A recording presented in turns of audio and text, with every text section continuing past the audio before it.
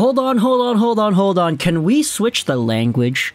Pinch me if you've heard this before, but today we're going over to the Vegas Golden Knights and we're talking about Jack Eichel. We're talking about his season so far. We're going over the performance he has had ever since coming over to Vegas and a pretty recent stint wherein he actually got called out by his head coach right there in the media for the public to see. Jack Eichel is a name that needs no introduction. He is a guy that had the spotlight shined upon him during the end of his Buffalo Sabres days. A former second overall pick, Eichel was a stud for the Sabres, however, that team was never really able to get over the hump. Like they are now, at least. Eichel was on a losing team after a losing team after a losing team, and we knew that he was a competitive guy and he wanted to play for winners and he was frustrated with the team's performance. And towards the end, even before all the surgery shenanigans began, you could definitely tell that as the years went on in Buffalo, Eichel's heart started to wane a little bit in terms of how he performed for the team. Now, don't get me wrong, he would still go out there and score points, but the way this guy acted as the captain of the team definitely had a different aura around it when you consider just how much he wanted to win and how frustrated he was that it wasn't happening in Buffalo. Then the surgery shenanigans happened. He got traded to Vegas, he got the surgery, and now he's back in the NHL. This season, if you isolate just Eichel's overall point production by itself, it's actually pretty good. Like, high key, this is not bad in the slightest seeing the guy get 34 points in 33 games played. He is over a point per game on pace for 71 points in 69 games played because he already missed a little bit. Very nice amount of games played, by the way. And if Eichel goes out there and finishes off this season with this amount of points, it would put him back up in line with the prime seasons he had as the captain of the Sabres a few years ago. However, when it comes to this point production metric of being over a point per game, you got to acknowledge that somewhere along the line, Eichel's overall production started to take a dip. This is because he used to be over a point per game, and by quite a lot as well. This is why, if you go over to what Bruce Cassidy, Vegas Golden Knights head coach, said about Jack Eichel, this is where things get very interesting. This is an article on Yahoo Sports. It's the same website that does the fantasy stuff, written by Michael Hode from earlier today. It goes over some comments made by Cassidy, talking about Eichel, and I feel like this is really the part where you start to feel a bit of deja vu. Before looking at the comments, though, this is what the article says. One player who hasn't been able to pick up the slack is star forward Jack Eichel, who had a hot start to the season but has not looked the same since returning from an 11 game absence of his own on January 6. The 26 year old has just two goals since being activated from the IR and hasn't scored during the Golden Knights' current losing skid while posting a minus 4 rating. The Golden Knights have lost three games in a row. The performance has left Bruce Cassidy looking for more. Jack just hasn't been the same driving force for us as he was at the start of the year at both ends of the ice, Cassidy told reporters after Thursday's loss to the Red Wings. The expectations are not being met from Jack. He needs to be better for us, especially as we're down a few guys that create offense for us. He needs to be one of the drivers. And when I saw this pop up in my timeline, I was like, whoa, okay. You know, when it comes to Jack Eichel, he's a guy that definitely has had his cold streaks in the past. I think a lot of Buffalo Sabres fans are very familiar with periods of time where Eichel was not really playing his best, but to have him be put on blast publicly like this, that's a first. Here's a comment on the subreddit on r/hockey from Six Salamander, Vegas Golden Knights fan, talking about Eichel and the way he has played so far. In his last five games, Eichel has one goal, one assist, and he's a minus eight.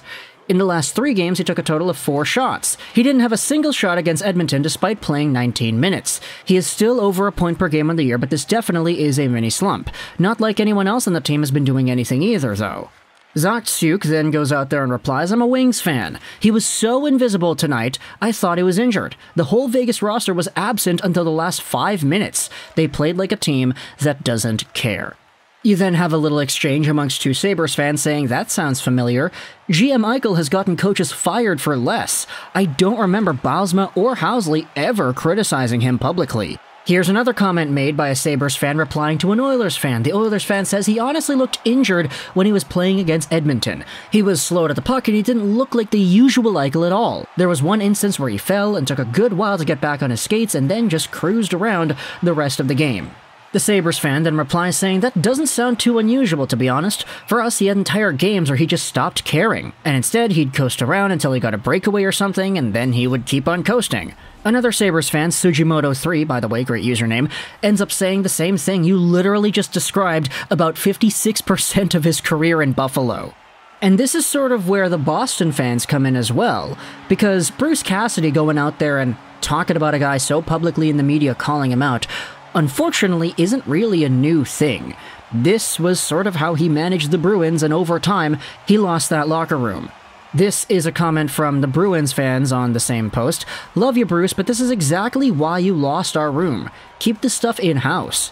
Ice Beverage says, Yeah, I remember at first when Bruce Cassidy took over, I loved that he was very frank and honest about the team's challenges. Like, not just a canned answer of we have to be better, but more, I thought our power play 1 was sluggish and didn't make good passes. Power play 2 was better at finding the seams and zone entries, etc.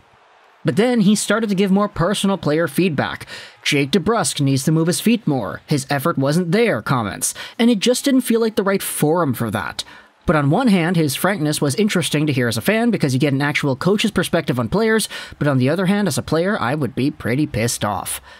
Now, of course, this differs from person to person. Some will value the honesty, others will value the saving face, but for Jack Eichel, he is not used to this. And I'm very intrigued as to seeing how he's going to respond the next few days, not just in the media with the comments to the reporters and everything, but like in his on ice play. Eichel has never really faced this much level of adversity where he got directly called out.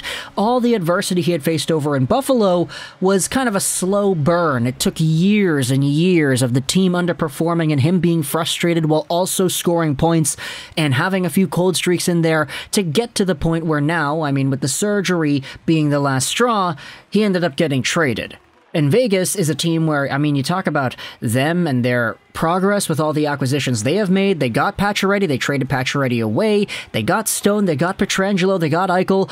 This team kind of does everything on speedrun mode, you know? Like, it's a weird way to describe them, but they're always getting the next best player, making big trades, making signings and everything. And with Cassidy, I mean, there was a comment thread going around in this Reddit post saying that he's speed running the path of getting the team dysfunctional in the locker room because in Boston, over time, that kind of happened. But I mean, everything goes big and goes fast and goes hard in Vegas, right? So Maybe this entire Eichel thing was set to happen from the beginning, but because Vegas is Vegas, it's going to happen within the span of like a year rather than five or six years, like it did in Buffalo or in Boston in Cassidy's case. But either way, this is intriguing. I wanted to make this video just to keep it in the back of your mind that this is a thing that is going on, and as a result, I feel like it introduces the topic of Eichel into the forefront once more because now you realize that the guy, even though he's a point per game player, has had a pretty bad stretch ever since returning from injury, and now he's getting lambasted in the media